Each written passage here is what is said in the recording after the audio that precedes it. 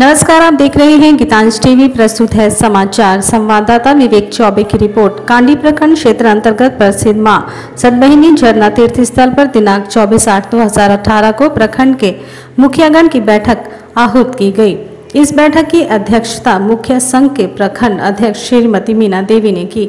मीना देवी के द्वारा सभा संबोधित करते हुए बैठक में सर्वप्रथम सभी पंचायत वासियों को भाई बहन का असीम प्रेम के प्रतीक, रक्षाबंधन व सावन पूर्णिमा की हार्दिक शुभकामनाएँ व्यक्त की।